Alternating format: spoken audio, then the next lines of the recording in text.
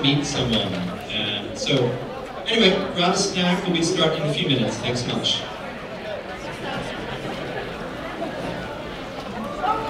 Is this just one seat? No, it's actually, uh, slide that But if you're ready, so we can sit here. Thank you. Maybe it was.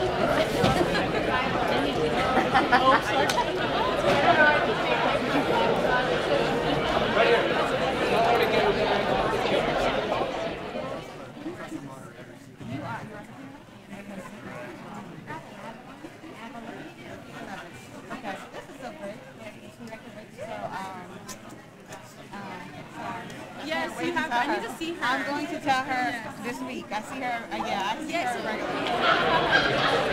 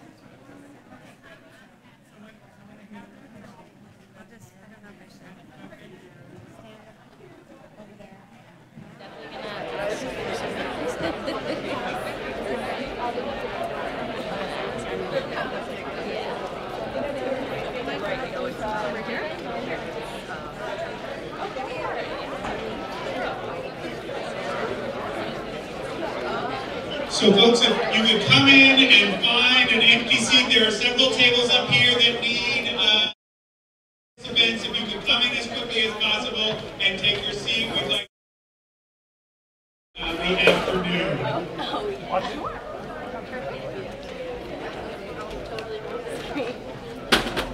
No, he's gonna have to do that one.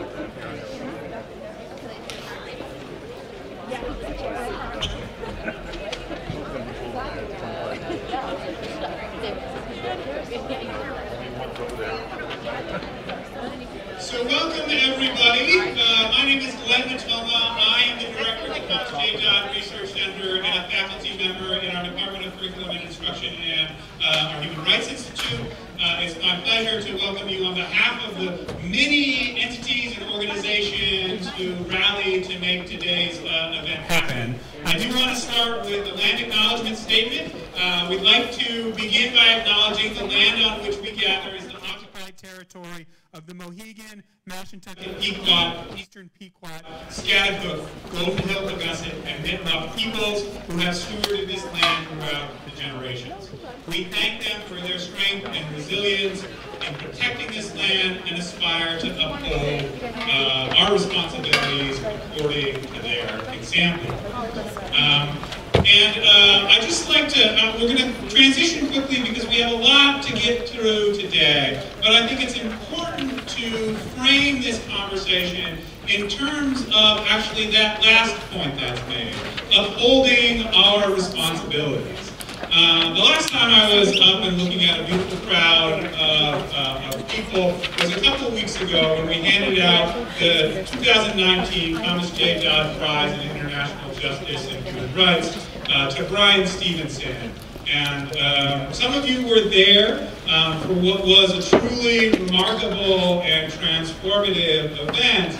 And among the things that he told us that night um, were things that stuck with me. And it was a frame for how we understand moving forward with the essential work of addressing the legacy of white supremacy and racism in our country and in our community. And he had four basic points, four basic messages for us uh, to keep in our minds as we move it forward. And, I- and tonight, I think, really embodies all four of those themes. The first was about proximity, being proximate to the people in pain and suffering the worst consequences of the structures and systems of oppression that are operative among us. To not flee from them, but to be near them in their moments of pain. The second was about the importance of changing the narrative, changing the stories we tell ourselves about our common past and about the world we live in. And I take that in part to mean to start to tell narratives that are true, that are authentic, that reflect the various realities and experiences of all members of our communities. The third uh, part was about being uncomfortable, not simply fall back into spaces and places where we can surround ourselves by the people who look and think and act like us, and who can confirm our perspectives and our biases, or who make life easier for us uh, to simply float through. But to deliberately put ourselves in situations where we're forced to confront things that we just assume not, or that bring us discomfort about who we are and about our own histories. That in embracing that discomfort is where growth and transformation happen. And the last point that he shared, and I think this is really important for us tonight, is to remain hopeful. To remain hopeful in the face of a long and difficult structure that when you tally up the scoreboard has as many losses as it does wins oftentimes. And that can feel like you're rolling the, uh, a, a boulder up a hill only to have it come back down again. And that in that hope, to maintain our hope, first for ourselves and what we can do and grow, but also to remain hopeful in each other, to be open to the possibility that others will surprise us with their own growth and their own change. And if we have hope in ourselves and each other, then ultimately we have hope for our communities and where our communities can go. And so framing tonight about those things and about our efforts as a community to grow in hope with one another, I think is the point of the Dodd Center's in- involved. So um, I'm grateful for you all to be here. I'm especially grateful for our very brave uh, panel of amazing members of the UConn community who are up here today, and to uh, our two key facilitators, um, uh, Dominique and Brendan, who will introduce themselves in, in, in a second. But mostly I'm grateful to all of you, right, for coming out late in the semester on a cold and drizzly day to be uncomfortable, to get proximate, to change the narrative, and to have. So, thank you. Thank you very much.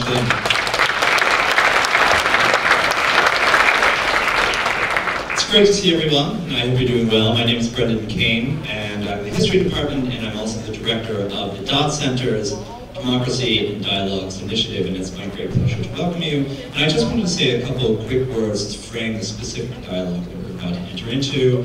And this is not a debate, right? This is not an argument. This is an opportunity to talk about of questions that are critical not only to us individually, but also to us as a community, but then also much, uh, much larger as we look nationally and even internationally.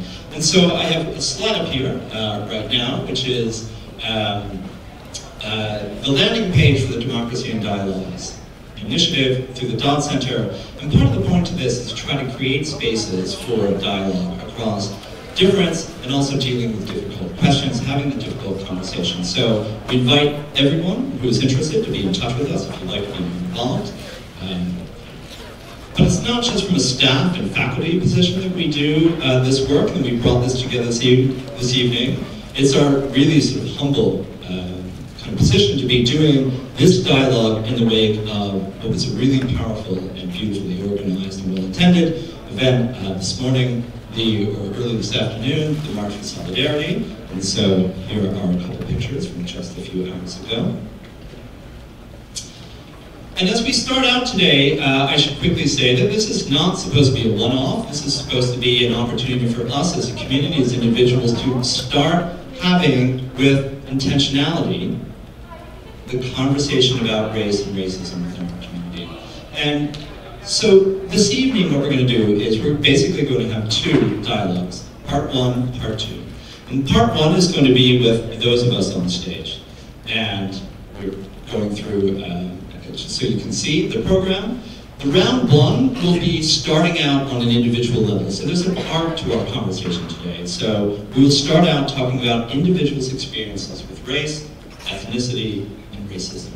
From there, then we'll branch out to talk about how those questions affect us as we live in our communities.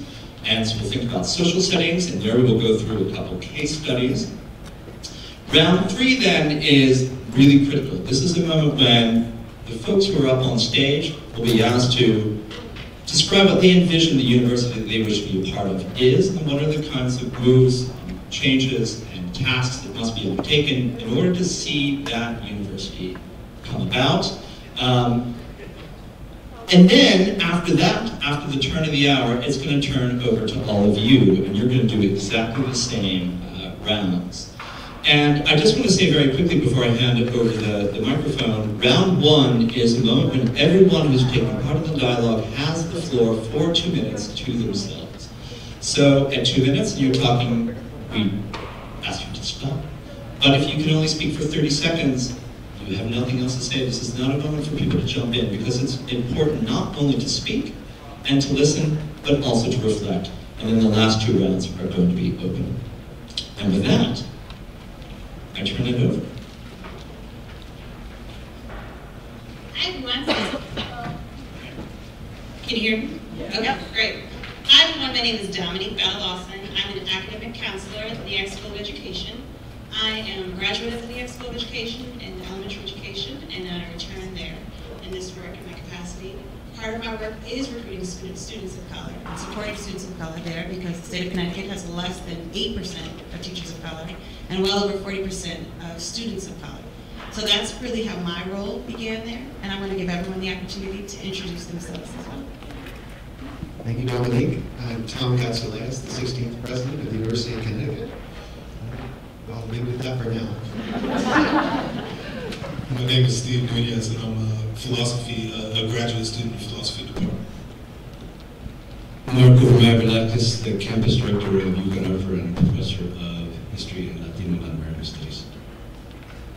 I'm Adeline Nieves. I'm an undergraduate student here studying allied health sciences, um, and I'm also the elections and outreach commissioner for the undergraduate student government. Everyone, I'm Ellie Daugherty. I'm the Associate Vice President and Dean of Students at UConn. Hello everyone, I'm Trisha Ann Hawthorne Opal and I work in athletic department, specifically within the Student Athlete Development Office. Hi, I'm Major Kim, Associate Director of Women Relations for the College of Liberal Arts and Sciences UConn Foundation, and I'm also a 2015 political science grad of the College of Liberal Arts and Sciences. Hi everyone, Kazem Kazerounian, the School of Engineering, Dean of the School of Engineering. All right, before we get started, we want to set the ground rules. So, the rules as follows. Be respectful. Golden rule, treat others the way you want to be treated. Everyone gets to be heard. Share airtime. Don't monopolize the time. One person speaks at a time. Speak for yourself, not others. If you're upset or offended, say so. Or say why. If you disagree, disagree. But disagree with the comment, not the person. Stick to the issue. No name calling, no put downs. That's for you too. Everyone helps the facilitators keep the conversation going. Personal stories stay in the dialogue group unless we agree it is okay to share with others without giving names.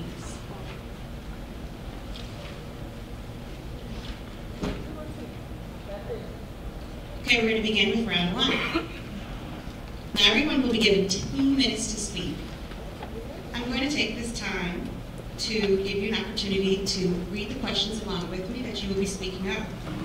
I'll ask the panel to not stop this conversation, meaning you're not to jump in and talk to others, so that we can each give the floor to that person. So no interruptions. All right. When did you first realize that people come from different racial or ethnic backgrounds? Tell a story or give an example of how your background or experiences have affected your ideas about racism or other racial and ethnic groups. Take a minute. Do I have any brave souls to start? Thank you, Dominique. Uh, Before I start with the answer to this question, I do want to add some personal thanks to the co-sponsors of this event, to Dominique, you for moderating, Brendan, for moderating, uh, Glenn, um, and the Dodd Center for co-sponsoring this event with the, with the Office of the President. Thank you very much. And thank you all for coming and to underscore Bryan Stevenson's comments. He really gave us a roadmap uh, for how to bring about change, and it was about, one of the four items was having comfort with uncomfortable uh, and disagreeable conversations about the realities. And he, he also spoke about hope, and he gave two really extraordinary examples I wanted to mention. One is uh, the uh, post-Nazi Germany and post-apartheid South Africa, and how confronting the realities really changed those societies and gave us hope, a roadmap for changing society in America. Now, now to the question. I think when I first realized that people come from different racial ethnic backgrounds, I remember being, you know, I was born in, in the late 50s. I remember being a five-year-old and, and watching on TV race riots in Alabama and Montgomery, and um, particularly seeing the freedom marches and the speeches of Martin Luther King. I, I suppose I probably saw the I Have a Dream speech, but at five I didn't really remember what the speech was about. But I do remember asking my mother about why was all this happening. And, and she explained that it was because people have different color and they're not treated properly because of the color of their skin. And I couldn't understand why then, and I still don't understand why now. Um, how, how my background experiences affected my ideas about racism. You know, I, I grew up in uh, Southern California in a pretty um, homogeneous school or neighborhood, so I didn't have a lot of uh, exposure. And, and uh, meanwhile, in, in Southern California is relatively forward-looking compared to the rest of the nation. But, but um, I came to find later that there was white flight in certain neighborhoods, uh, that there was, the, the racism was more subtle. Um, then, then um, over the course of time, we, you know, we saw the, the positive movement of the civil rights movement in the 60s, and it was easy to begin to think that there was real progress. I think the ubiquitous popularity of, of Oprah and the election of Obama uh, made us think that we had made some progress towards a post-racist world. And I think all that bubble was burst by the, the, um, the advent of the cell phone, really, and uh, the uh, ever-present videos of what really was going on, and you sort of realized that was not the case. And, um, and then it really came home to me when I was at Charlottesville, August 11th, and we, the university experienced um, the, the first attack, I, I think, of um, domestic terrorism. Domestic, domestic terrorism camouflaged as free speech, and that had a profound effect on me, and I guess my, my two minutes are up.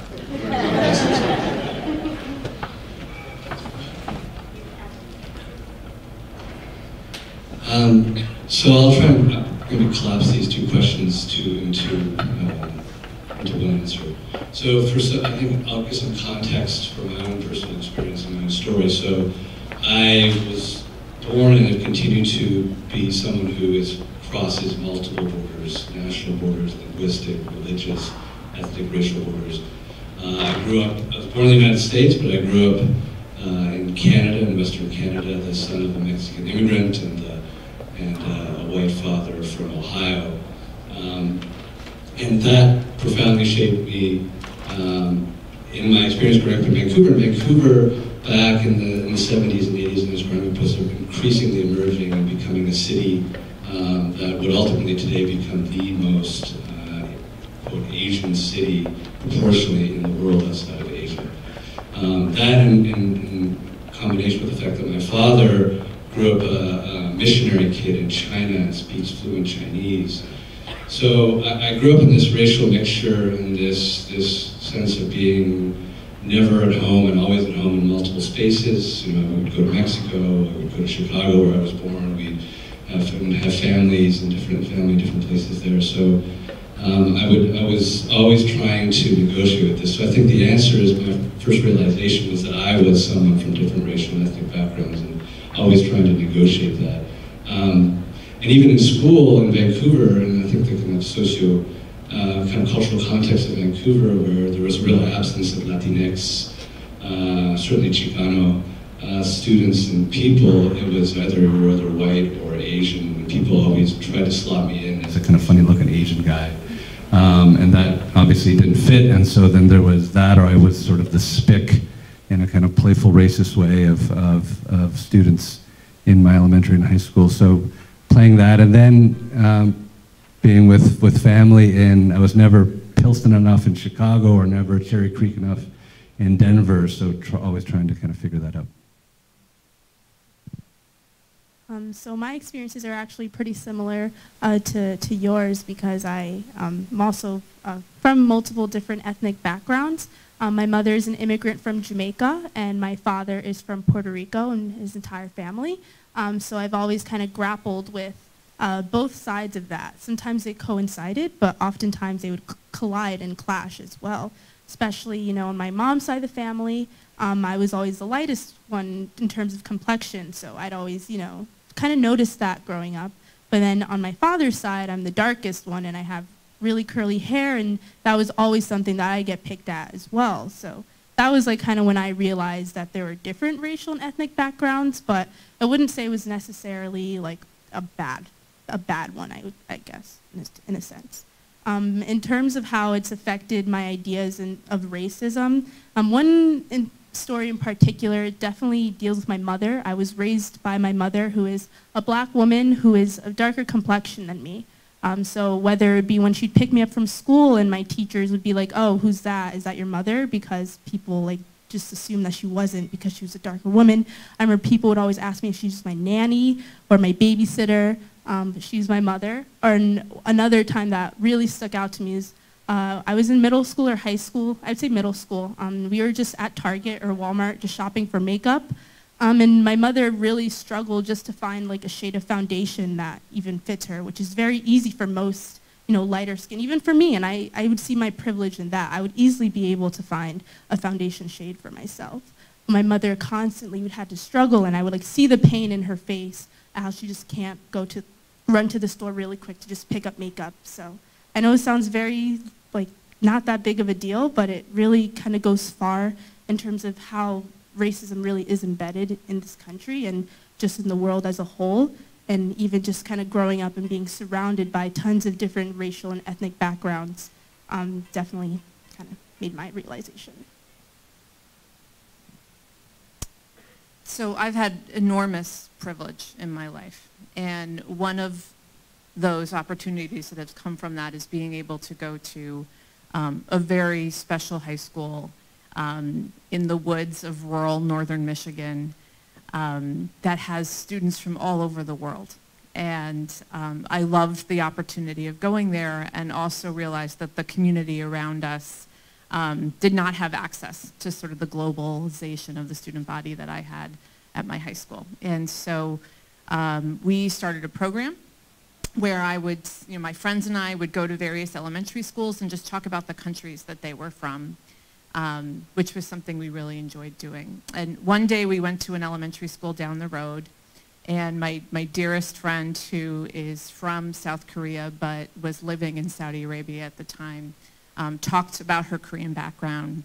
And I want to say the elementary school was 98% um, white. And at the end of the session, this woman comes forward with this little girl um, who is Asian. And the woman says, this is my daughter. I've, you know, we've adopted her and she's never seen anyone from Asia before. And so it's so important that she meet you And uh, my friend was very reluctant and uncomfortable around um, the mother and her daughter. And I said, Sung, what, what, what is it? What's wrong? And she said, she's from South Korea and the mom put her in Chinese dress. Yeah. And that was such a heartbreaking moment, and it raised so much awareness for me um, of how much love was in that room and in that moment, and yet how much um, harm was coming to the uniqueness of identity that was in that room as well. Uh, and that has always stayed with me. Um, what has also stayed with me to, to get at the second question is I was very young in my career, probably, I was probably 23 years old. And I was working at the University of Michigan. Go Blue. And at the time, they were going through some affirmative action lawsuits that eventually made its way to the Supreme Court, and they won one and lost the other. And I was working in undergraduate admissions. So this was active litigation going on. And I would, I like the background. and I, you know, I would foreground. I so would I would present to rooms like these of you know parents who love their children and wanted them to go to Michigan, and in almost every situation, um, an individual who was almost always white would stand up and say, "I don't even know why I'm here. You're not going to admit my son because he's white," and I couldn't believe that there was so much hate and distrust and a lack of understanding of just the value of diversity in our world and that we are all better for that. Um, and that is still present today. There is still a lot of that sentiment in the conversations that I have in my role as Dean of Students, in my role as a mother, um, in my role as a community member. And uh, that stays with me, both of those experiences. I first realized the different racial and ethnic backgrounds. I was born and raised in Jamaica. Uh, that's where I've been my entire life, for up until I was about 13, 14 years old. There in Jamaica, the, it's not really about race. It's so more, more so about class. So it's more where you're from, because I did have, you know, friends who were Chinese or Puerto Rican or Dominican or Haitian, but that didn't matter to me. I didn't understand my color mattered. When I migrated to the States, we moved into a quote unquote white neighborhood in Westchester, New York. And I remember moving in, our neighbors called the cops. You know, like, hey, there are people that are over there, they don't belong here. And for a long time, I tried to figure out, what do you mean I don't belong here? Like, we own, we own this house. We bought this house. We're here. We belong here. Then um, for a very long time, it continued. You know, we turned into drug dealers. We turned into whatever names they could figure out to try to rationalize why we were in that neighborhood because we didn't belong. Ironically, the school that I went to was probably a mile away, and it was predominantly black and brown students. Um, so I really struggled with what do you mean I don't belong? And then there were certain situations where I'm black, but because I'm Jamaican, there was some type of difference that occurred, and I'm still trying to figure out why there's a difference because color is color. Um, so that's when I first realized. From a part of telling a story to give an example of how your background or experiences have affected ideas, I wouldn't really say ideas. Uh, for me, it's reality. For me, it's experiences. For me, it's a fact of the matter that I have experienced racism probably throughout my entire life, and I didn't have a name to it for a long time. We talk about racial microaggressions and unconscious biases, when those things goes unchecked, it can turn into racist acts. So I've been experiencing it for a long time whether it's being pulled over, whether it's, you know, worried about my husband, worried about my brothers, making sure that they have everything not in the, the glove compartment, but in a little area that if a cop pulls you over, we need to be prepared for these things. And I have a daughter, so I, I, I'm more concerned also about her future and all those things. And I, you know, how it's affected me, it's affected me because it's an everyday thing. So when I wake up and I look in the mirror, that's something I have to consider. How am I going to present myself today to not fit into a norm and what is norm at this point?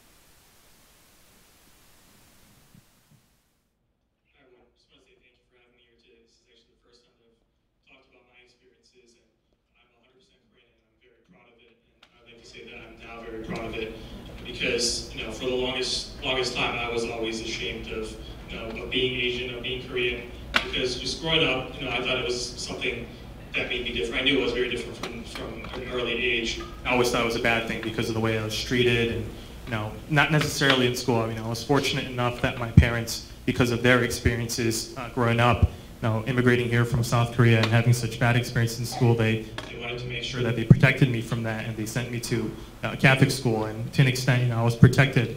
But you know, once I left that atmosphere of, of comfort, you know, I, I do remember when I was in middle school and I was in the mall walking, and randomly someone came up to me and said, "Get out of my way, chink," and you know, they were laughing with their friends about it. You know, that's when it really hit me that I am different and you know it's something that I always I always thought I was ashamed of. And it was really when I came to UConn and I met some really fantastic people, uh, people that are in this room that really mentored me and, and made me realize that my identity, my South Korean identity, is something I should be proud of. It's a part of who I am, and you know I I'm really proud of it, and, and I try every day to to make sure that people know that I'm proud of that because for so long I was ashamed of it, and now because it's so ingrained of who I am, I'd like to say that. So, thank you. So, let me see where I want to start. Um, so my dad's from Santiago, Dominican Republic, and my mom is a white woman. I call her Clear. Um, so that is sort of my first introduction into race and ethnicity is sort of just being born um, into a world. But uh, my dad grew up in Washington Heights uh, after he moved here, and my mom grew up in Binghamton. So I was born, they met at a bowling alley or some shit in like 1987. Um, so uh, they split up when I was like two years old, and I moved to Wilmington, North Carolina, whenever I was four. So um, Wilmington has shaped and molded me into a certain sort of way, and really, really shaped the way that I see um, race in the United States. So November 10th um, this year was the anniversary, the 121st anniversary of the only coup d'etat in American history that occurred in Wilmington, North Carolina. Um, this year is the first year, in fact, that the state of North Carolina recognizes it as a coup. Um, so in the 1890s, Reconstruction was working in southeastern North Carolina, which is something that I think we don't talk about enough, um, which sparked this. So uh, there's a lot of black excellence in Wilmington, and the history of Wilmington is fraught with race, racist terrorism. Um, I don't like the term racial terrorism because it's very much racist. Um, so growing up in Wilmington as a biracial Dominican in a world that doesn't understand what that means uh, made me think about race in a, a, certain sort of way. I went to Williston Middle School, which was in 1923 the first accredited black high school, the, the first Jim Crow high school um, recognized by the state of North Carolina. Um, so actually 2018, last year, was the 50th anniversary of the closure of Williston Industrial High School, which I consider um, epistemicide. Uh, so black education was sort of strangled out of Wilmington very literally.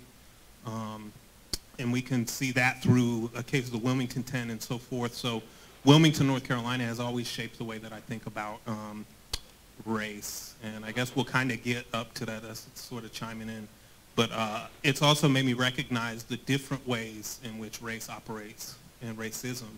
Um, I've come to call it racism, race parenthesesism, because whenever we talk about race, we don't ever talk about the white supremacist logics that were there in sort of creation of the racial categories in the first place. But um, the ways that these manifest are different in different parts of the country, and I think that that's an important part of the conversation um, as we continue throughout the day. Hi. Um, I'm a political refugee. I, uh, my wife and I were granted political asylum in 1980, a couple of years after the Iranian Revolution. We didn't enter the country as um, political refugees. We entered the country as foreign students. But after the Iranian Revolution in 1978, and a lot of you were not even born then, um, we, um, know, we were politically active against the current regime in Iran, and we lost our citizenship with the Iranian government. Not having the papers and everything that requires of, of the foreign students, we had to seek political asylum. And becoming that very interesting times because uh, being a Muslim, being an Iranian during the hostage crisis, um, in Chicago were, were some interesting times. We had to introduce ourselves here and there as Turkish students or, or Greek students. And, and it was funny when we went to a Turkish restaurant and the guys, we didn't know it was Turkish and we introduced ourselves as Turks and they started talking Turkish to us. but uh, um, having, having the Chicago accent that I have now, it takes you through, through interesting, interesting um, stories. I can share a story with you. But before that, I shared with you that a couple of days ago, a friend put the phrase mic microaggression for me in a very interesting context that I understood for the first time. Compared it to dripping water on, on a rock and eventually it, it leaves a dent. And you need to learn how to deal with that and turn it around. And uh, because you can't go through life um, believing that no, you're not liked and you can't have friends. So you have to turn it around and deal with it. But, but the story, um, because they asked for a story, a couple of days, a couple of years ago, I hurt myself in racquetball, walked into a um, clinic in, in Willimantic, walk-in clinic and, and doctor didn't actually want to engage me. Uh, he was describing to the nurse whatever, after examining me, what I need to, to, to get done, MRI or x-ray. And I was puzzled. I asked, what? Because I didn't think that I had damaged myself that much. And he turned around and said that. Well, so, so he pointed to my bones and said, bone doctor, bone doctor. Which actually, it was funny for me he made assumptions and he had to describe to him that, by the way, I have a biomedical engineering department. it was, but um, you, again, you, you need to, to learn how to put these, those things in a positive way and turn it around and um, deal with that.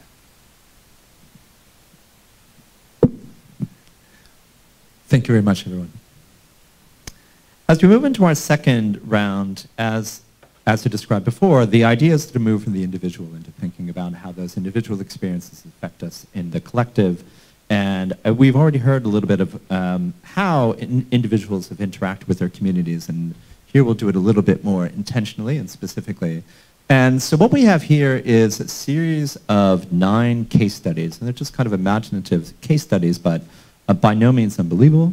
And these are put together by our partners and friends, Everyday Democracy, uh, which is a group centered in Hartford. And so what I'm going to do is ask all of our guests on the stage, and I have, look at that, a little preparation. Um, to ask each of you to read as we just go down the line, then I'm going to ask you, just invite you to reflect for a minute, and then ask a couple questions about which of these case studies, if any, speak to you, and if so, in what ways. So, Kaz, if I could start with you, and if you could just read number one, and then Andrew, and then Trisha. Latina speaks English with an accent. She feels that her co-worker, uh, co co-workers don't take her seriously. In one diverse neighborhood, families struggle to make ends meet. People who just came from other countries move in.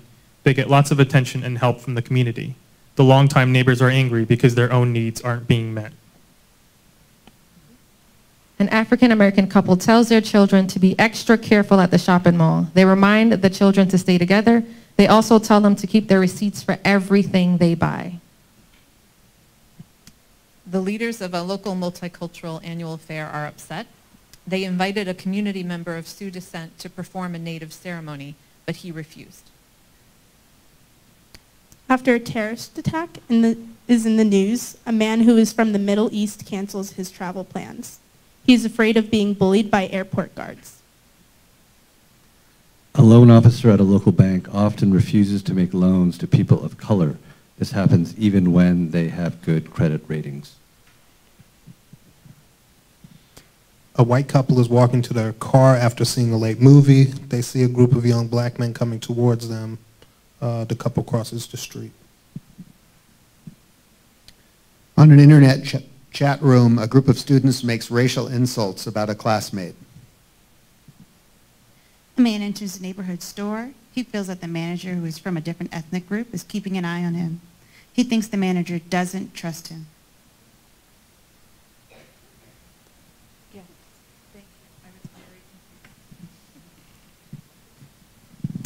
Okay, if I can just invite you to take a minute to reflect on those, and Glenn, if you could.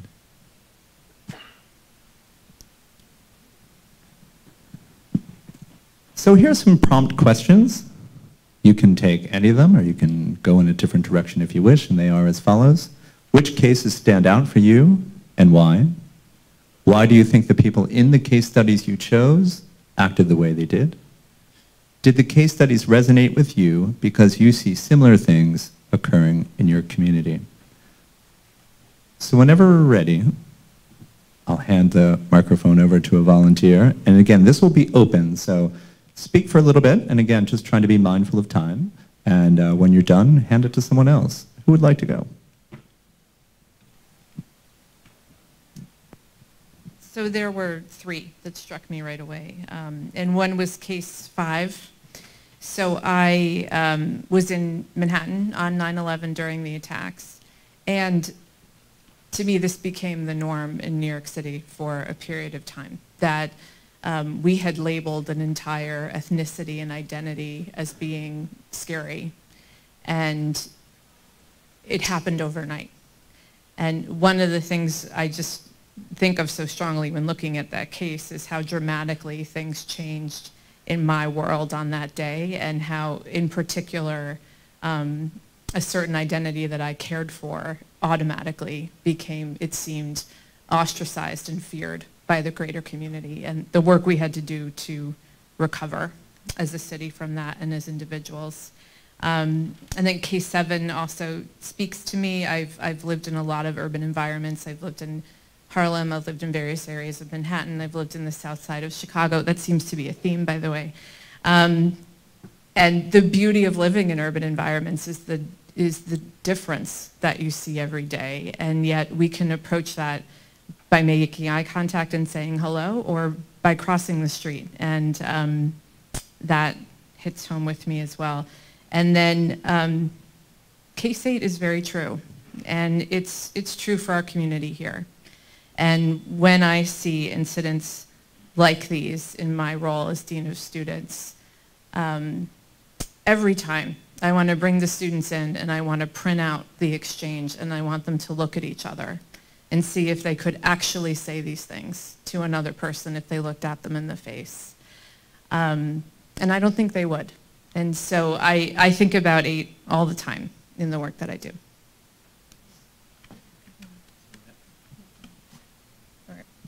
A few of them definitely uh, resonate with me. And case three for sure talks about the African American couple. I see myself doing this now to my niece, um, you know, friends that I may have to say, you got to stay together, uh, make sure that you do have your receipts for everything because you don't want to be accused of anything. And I definitely foresee myself doing this for my daughter. And the question that was asked here is, you know, why would we act in this way? And the reality is, the reality that I live in I have to make sure that we're able to protect ourselves on all levels at all times.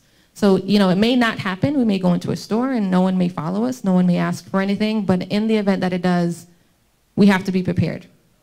Everything is systematic and is, is set up in a way where it's going to make it a little difficult to prove myself or whoever it is um, within my family that I'm telling, hey, make sure you, you prove that you can afford this, that you can do these things. Off of that one, it's uh, case six. I recently bought a house and it was so difficult to just get over barriers that I thought shouldn't even be there. Uh, we were questioned regarding everything in my entire life. I felt like I was in an interrogation. Where did you get this money from? How long have you been working at UConn? Where did you get this from?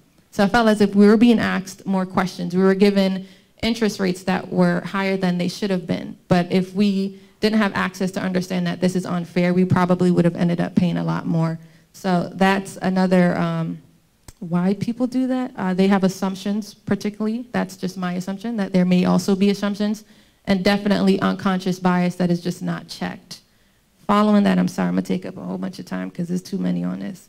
Um, uh, case seven, white people walk into a car. I've been with my husband and my brothers, right? So when Jamaicans walk around, we just get loud sometimes when we're talking, but we're just happy. We're just talking and you can't understand what we're saying, but we're just happy people. Um, and sometimes to someone else, it may come off as, wow, they're being aggressive. Who are these individuals? And I have seen people hold their bags tighter, run into their cars, go into the store, and you have to wonder, when did I become a criminal? When, when did I become a suspect that I can come and harm you or steal from you? So those things I have definitely witnessed. And the last one is a man enters a store, case nine. I've been followed in a store and um, I can be very vocal. Individuals who know me, I can be very vocal. So I do say something if I do see myself or someone following me in a store. And I oftentimes tell them like, hey, I'm not here to take anything. I'm actually here to help you to buy something so that we can all have, you know, go home, have a paycheck and all be happy. And I probably don't use those exact words, but you know, at the end of the day, I'm like, stop following me because, and I don't understand why you are. Again, why am I labeled a criminal, a thief, or whatever it is that you have in your mind? And it comes down to that ingrained stuff that's just not dealt with. So I did want to talk about case one in particular. So uh, I'd like to flip this on its head and say, so an Asian woman speaks English with an accent. She feels that her coworkers don't take her seriously. So this is something that I I've experienced because uh, my mom, she is an immigrant from South Korea, and she does have an accent. And she's tried so hard, and she's done some amazing things in her life. So I'd like to use her as an example. She'd be embarrassed about this, but uh, you know, whenever we go out somewhere to a restaurant or something, you know, she does have an accent. It's not as visible, but you know, people pick up on it, and people recognize that, and it's something that she deals with. And you know, growing up, it was something that I was also embarrassed about because you know, that also something that makes me feel different. You know, it makes me stand out having parents that, you know, that don't speak fluent English or have, have an accent while they speak English. But now, you know, it's gotten to the point where that's, like I mentioned earlier, that's part of our identity. You know, she's tried so hard. She owns her own tutoring business. She teaches English and, you know, she taught her friends English and, you know, she came to the States and taught herself English and she went through so much and she's done such amazing things in her life. So, you know, don't ever be judging someone else for the, the way that they're speaking English because you have no idea you know, what they have gone through to get to that level, right? And so just be cognizant of that. And so that one really, really stood out to me.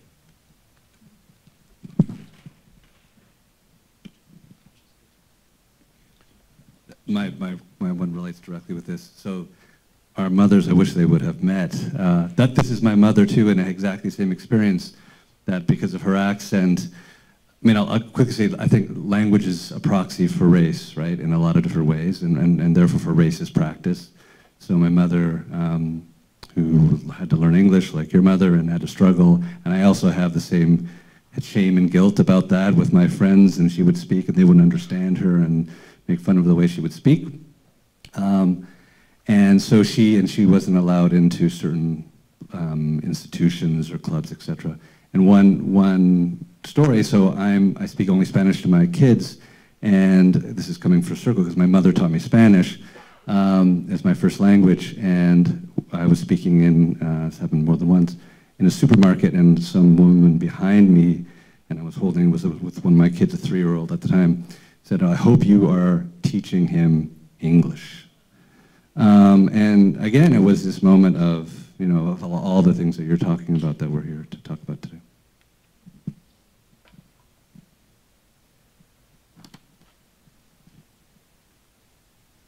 a couple of them jumped out at me for recognition of things I've seen in society. Case two and case nine in particular. Case nine really reminds me of the post-Katrina um, uh, news, news stories uh, on implicit bias where they depicted um, a white group wading out through the floods carrying food and, say, and the, the caption was, you know, survivors struggle to survive amid the flood. And then a black group, the same picture, carrying food, and the, the caption is, you know, um, uh, I forget what the, the term was, but it was um, people uh, pillage, you know, looters, uh, you know, and, and uh, steal, right? And so the, the, um, the implicit bias that's framed by um, each of the observers um, the case two one really mortifies me because it sort of uh, personifies um, the xenoph xenophobia um, and uh, the basis for some of the um, the hate that we see in America today, especially those disenfranchised who swung the last presidential election, right? Um, really, I mean, it's a group who feel um, left behind and then uh, develop a, a, really a hate and a resentment of others and blame their being left behind, on, un, you know, in, unfairly uh, on others. I, it, to me, it speaks of the misconceptions that uh, underlie bigotry and racism. So that's what I see in number two.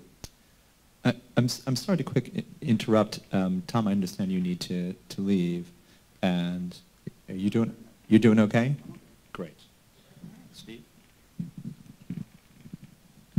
Yeah, I could talk uh, a le- at length about probably all these, but um, I'll hit nine and then five. Uh, yeah, I think one of the biggest reckonings to coming to, to my perspective of race in America was um, I've always told my mom that I've had, my mom again, just to remind y'all is clear, uh, super white. Um, and uh, we were walking through a, a store. I was home for uh, winter break or something. We were walking through a store and I picked up a, a bottle of cologne and we got followed through the store. And throughout my whole life, I've always told my mom, like, hey, I'm different than you and people treat me different than you by the way that I am in the world. And it wasn't until she got followed with me in a department store that she looked at me and said, you know we're being followed right now. And I said, Mom, this is a normal occurrence. I've told you this many a times. And it was like, for me, it felt like the first time that she ever recognized, like, oh shit, he's telling the truth. Um, and that I think was probably the most hurtful thing um, that I realized about white America is that they can't experience it, so it's hard for them to comprehend the microaggressions and shit that non-white people have to deal with on a day in, day out basis.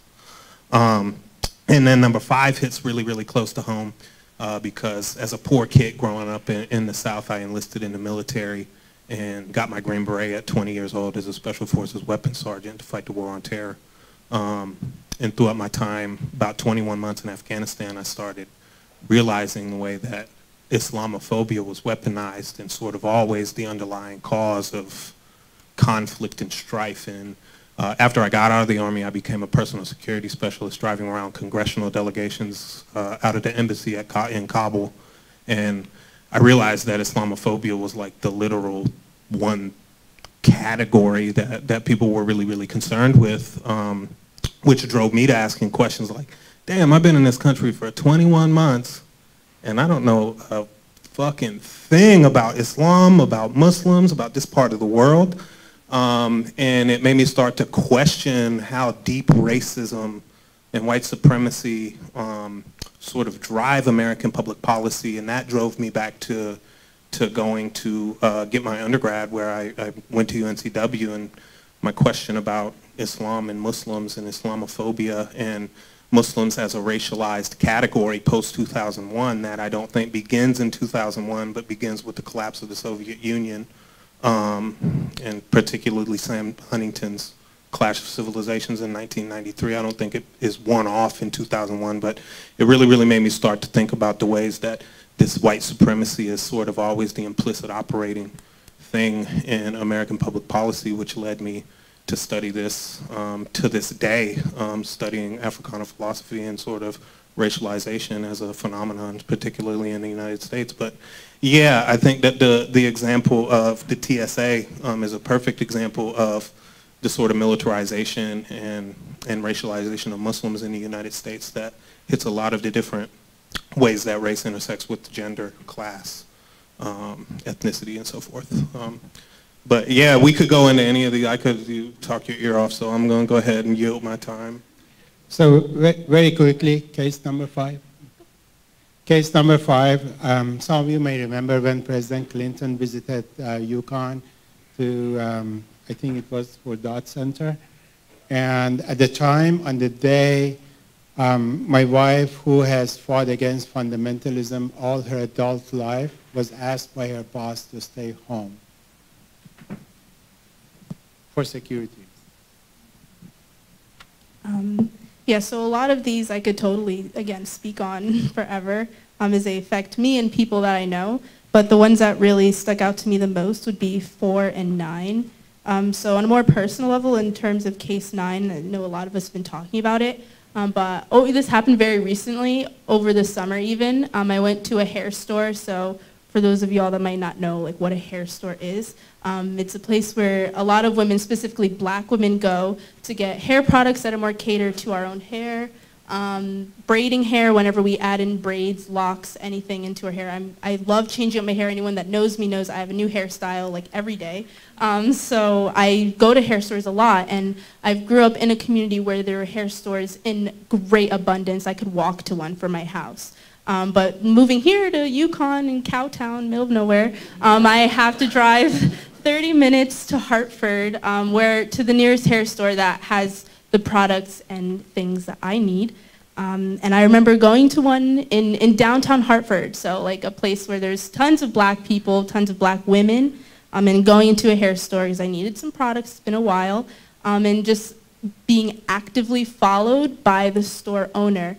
And I just remember being very taken aback at this because the store owner was of Asian descent. So that kind of just goes to show that there's a lot of anti-blackness, not just in white people, but in Latinx people, which is something that I've really had to grapple with a lot, being half Puerto Rican. When my entire my entire side, like Puerto Rican side, are all lighter than me, so they're all you know having to grapple with that. But then you know going to a store that where a majority, I would say 98% of sales at hair stores are from black women or black people overall. So to be you know how shameful and disgusting that is to be followed around by the people that are keeping your business running. Um, the only people that really know what hair stores are, let's be real. Um, so that was just my personal experience with, in terms of case nine. Um, and then in terms of case four, um, not specifically towards the Native American community, because I totally understand in that relation, but in terms of UConn, just, you know, how sometimes that burden is put a lot on students of color, even black students, you know, having to be, you know, the speakers of our entire community. If I'm in a class where I'm like the only black person and we're talking about race or ethnicity or something, and automatically the microphone's handed over to me because I'm supposed to be the expert of all this, and if I say no or if I feel uncomfortable talking about it, then I'm at fault. So um, I totally kind of felt that one in terms of how people in these marginalized communities, we, it is not our responsibility to, and is to continuously, you know, do our spiel, do our, you know, educate others. Like, sure, that can be a part of it, but it's extremely tiring and exhausting to have to continuously do it, especially more in like relation to the UConn stage where we're students, like we're here to learn just like anyone else. So it's a big burden.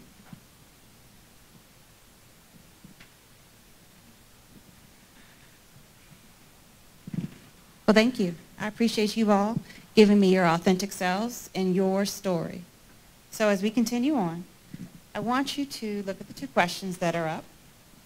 But I want you to see it from the perspective of the institution that you wish UConn was, the institution that you want to be affiliated with, the place where you would like to see our school go to. And we're going to talk about it for roughly 10 minutes. Please read with me. What do you feel are the greatest barriers to creating a more diverse, inclusive, and welcoming university culture? What concrete steps might we take as a community, as an institution, as individuals to combat racism and build a more diverse and inclusive campus environment? Again, we're leaning into our own experiences here and our own selves, so speak from yourself. And we'll just have this as a conversation, same thing, roughly 10 minutes. Anyone want to begin?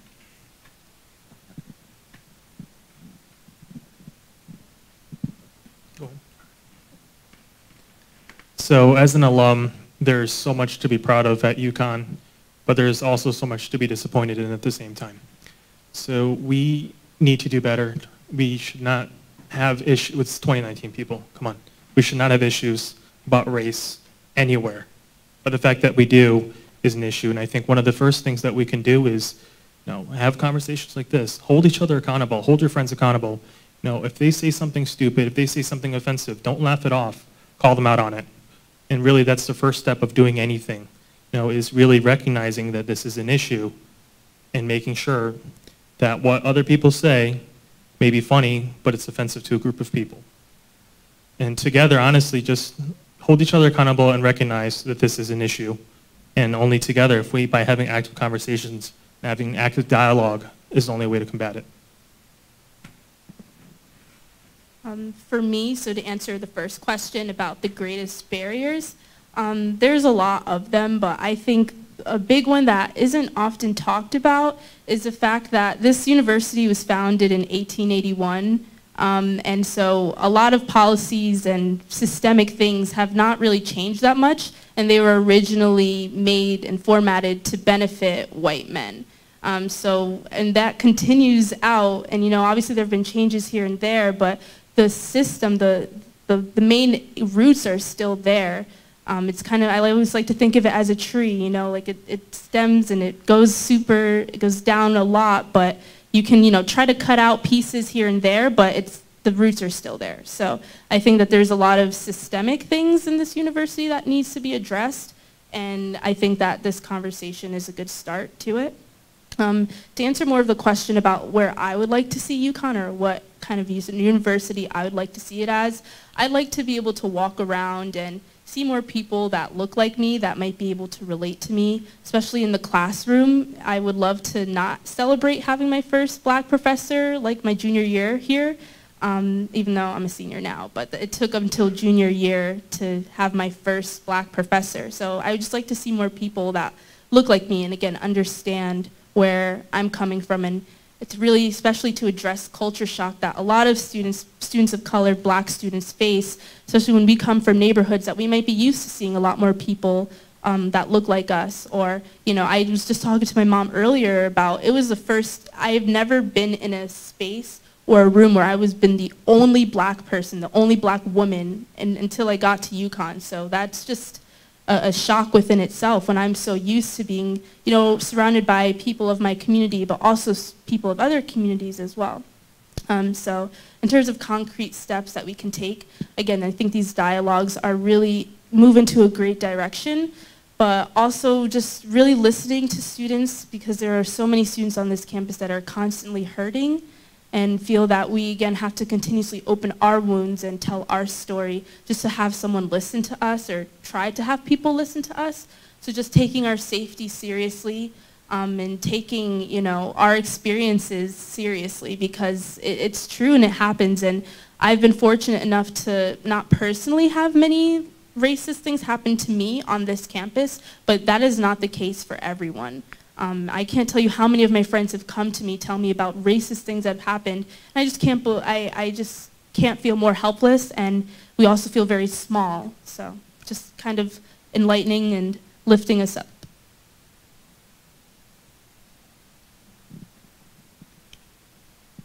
I have a lot of thoughts. Um, so what do you feel are the greatest barriers? Uh, as she also just stated, there, the barriers are systematic, and uh, we would be not smart to think that it can be done overnight. I think some of the barriers that we're also facing is just, you know, and I just had this conversation with other individuals to state that we're sometimes competing against each other. And because of that, we're not able to celebrate other individuals' progress, departments' progress. You know, we're not able to really be authentically happy for other people. And I think that can affect the, the movement that we need to go forward. And I jotted some things down we need to acknowledge that racism actually exists. Um, oftentimes, too often I hear it doesn't exist. Um, or this is still happening, like this is the reality and it still happens all the time. So just be mindful of your language, think twice about what you're gonna say, and if someone is offended by what you say, be willing to listen and to hear what they have to say. Accountability, as Andrew also stated, we, you know, managers have to hold their staff accountable. Leaders have to hold their entire staff and departments accountable. Um, as far as concrete steps, we may need to do more dialogue like this. Trainings for faculty and staff, not just when you get hired, but probably annually, just as we have to do the compliance ones every year. Probably should do some diversity and inclusion um, in things as well. We may want to define as a, as a university what inclusive excellence is, what it looks like, what it should look like on this campus, and I think that would be collaborative because we can't just focus on race. We need to think about intersectionality and how we are all intertwined with different identities. But I think the conversations begin with having a conversation and being okay with listening to what people have to say and calling people out, checking people. And, you know, I think we've forgotten in society, and this is just my overgeneralization, how to be empathetic, how to just care for people, people to people, let's start listening to each other. And you know, the theme for the university this year through student health and wellness, I believe it's SHaW now, is to be well, feel well, do well, right? But to listen louder. I don't think we listen loud enough and we don't listen close enough. And I think that's where change will begin because if we're listening, then we are acknowledging that it's an issue. And we cannot invalidate someone's feeling. We cannot say that, oh, you shouldn't feel that way or you shouldn't do this. What is shouldn't? That should probably not be a part of any sentences that you have to say to someone. So I think it just begins with us having a conversation, us holding individuals accountable, maybe looking at some of the policies that we currently have in place and see if it needs to be updated, maybe a little bit, um, and changing our language. And I think it really, there's a lot that needs to be done. This is a beginning and it's going to be a long journey, and but we all need each other in this room and even individuals outside of this room. So, you know, sometimes we get frustrated in our workplaces or in a classroom saying, why is change not happening? Well, what are you doing for your part? Because it's going to take all of us to ensure that the individuals that are coming behind us are going to need us. So your reference to the tree planted, what seeds are you planting to ensure that you can continue to water it and when you leave, someone else is watering it so it can grow and the culture can shift. If everyone is trying to water their own seed and plant their own seed, then we're going to continue to have a whole bunch of hot messes. So um, I think that we need to assume that all of us are inherently pro-biased. I think that we, we are tribal people and we find comfort in us versus them. It, we find safety. So how do you fight that? I, in order to fight that, first of all, I think that we have to have an unwavering commitment and belief that diversity is good.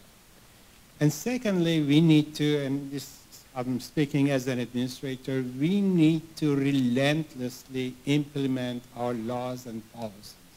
And I think that far too often we become complacent in our search committees, in our PTRs, in our conversations, in our processes, and we need to be relentless about implementing it because it goes against our internal biases. And finally, I believe that we need to engage in difficult conversations.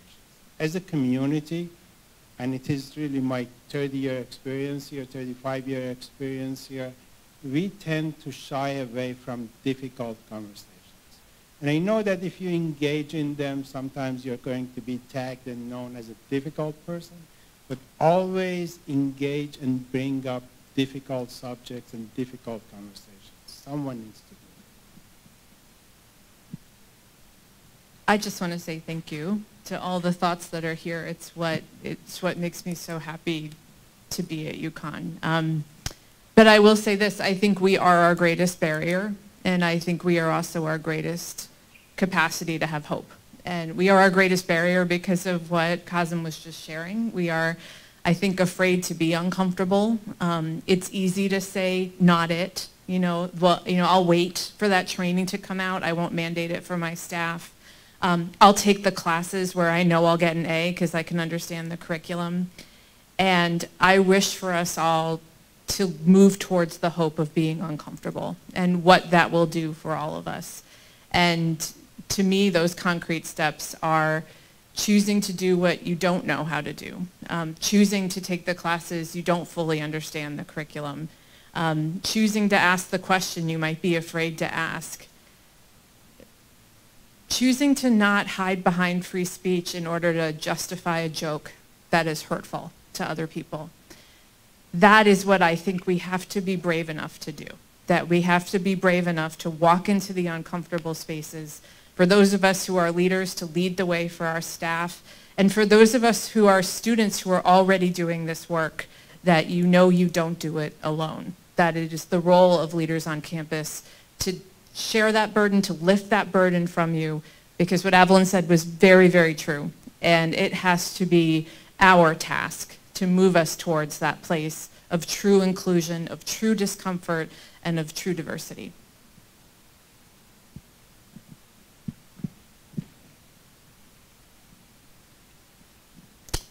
Uh, let's see.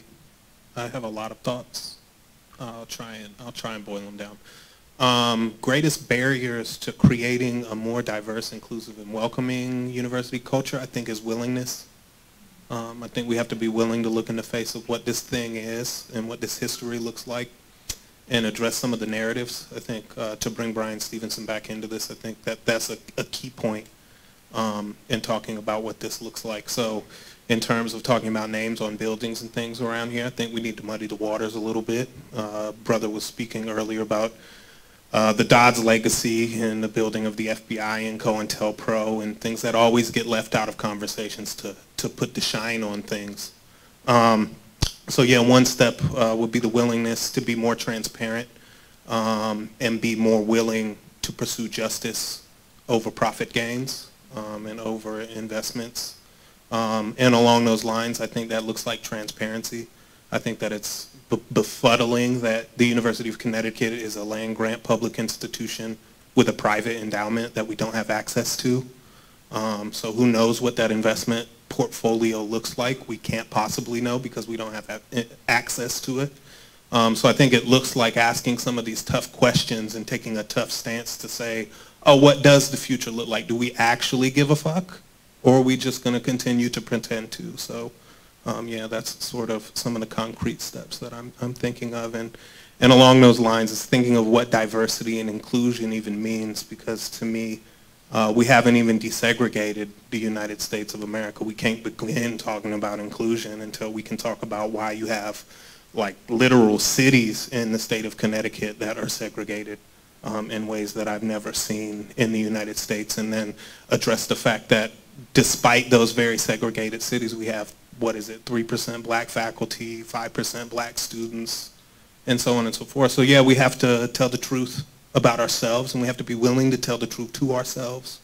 Um, and we have to be committed to justice. And I think if there's, there's one thing that bringing Bryan Stevenson on campus pointed out is that we can do that, and we can excel at it, and we can actually, I, I disagree that we can reconcile the past and have racial reconciliation, but we can reckon with it. We can start to reckon with it. Um, and I think that only comes through telling the truth um, in hard conversations, in muddy conversations, in messy conversations about where the money's at. Um, so yeah, that's what I got. Um, to raise up Bryan Stevenson once again, I think the, and actually tying in what Evelyn said about 1881 and this being a university that was founded by white men for white men, and that we've come a, a long way from there, but in some ways we haven't at all to focus on education as social justice, right? That is, uh, that's, that's a key critical difference from how kind of education was conceived. And also fundamentally to listen to our students. I think listening to our students, uh, and in particular students of color, for me has always been a guiding light to thinking about intersectionality, difficult conversations, structures of change, how to think about systems of power in the classroom, in the community, um, and our relationship with that as faculty and staff and as administrators. Um, it's not an easy shorthand, but it's one that I think is really critical for us to, to pay attention to listen to these brave folk here in particular um, as both the, where we're coming from and where we should be going to.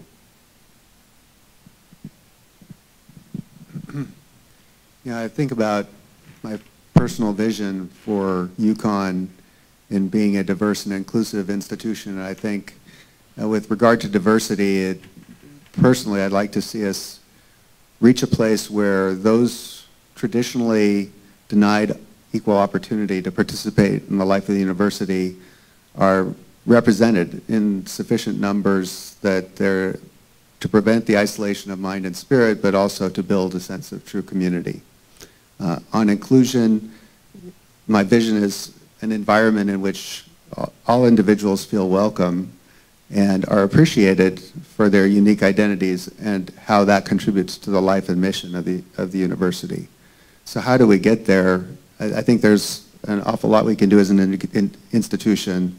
Um, a number of great ideas have been mentioned uh, already. We are an educational institution, so number one, it, it's the role of education in addressing the, the misconceptions that under, underlie bigotry and racism.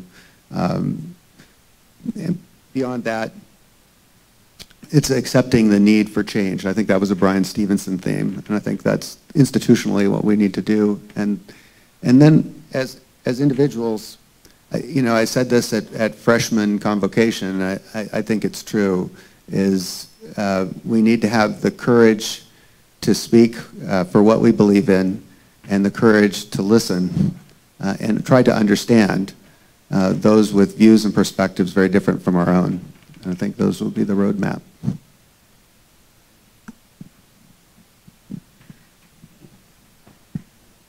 Okay. All right. So um, thank you uh, all. Um, please join me in thanking this panel and this brave conversation.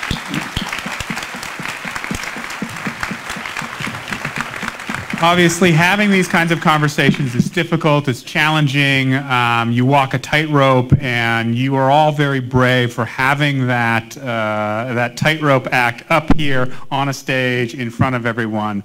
So I'm, I'm, I'm really grateful for that. Um, but now it's time to transition from being an audience to being the participants for taking that responsibility of constructing and envisioning the community that you want to have. So we're a little behind time, so we're going to make a, a, a, bit of an adjustment to the second half uh, agenda.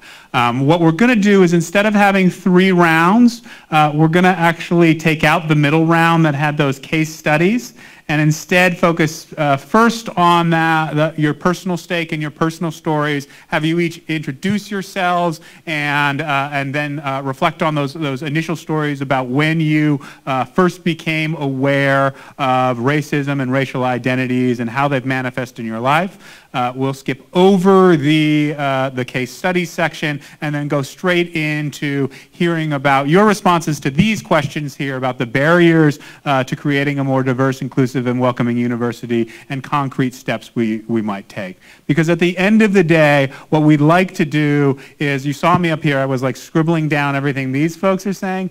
At your tables are people who are going to take notes on what you all are saying. Because it's in this space of listening to each other that we're going to generate uh, the ideas and the pathway for, uh, for moving forward.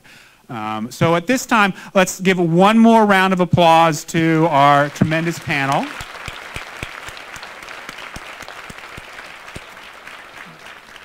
And then I'd like you to turn to your, uh, your table. At your table right now is a table moderator or facilitator. If you are one of those amazing volunteers who've uh, facilitated, please raise your hand now uh, so they can see you at, uh, at their table. I'm going to segue to them. Um, uh, if you need to leave, uh, obviously you need to leave, but we ask you to stay if you can. We need your voice. This is actually the important part for you to be here. Um, they're going to begin right now. So, and there are a couple extra seats up here if people want to come up.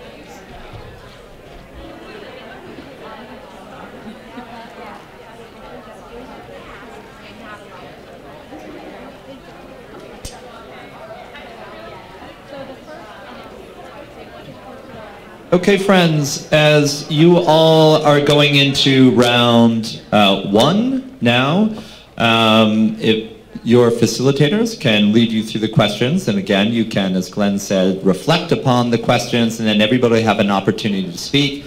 And again, we do ask you if you can keep to the two-minute rule, and I know it's unbelievably awkward. But that's part of what the point is here, that we need to be, again, as we've heard, we need to be proximate, we need to be in positions that are uncomfortable, and one of those is simply being in a space where you are silent amongst people whom you may not know. So, and don't worry, facilitators, we'll keep time up here, and so we'll be the bad cop to your good cop. So, anyway, off you go, please. Round one.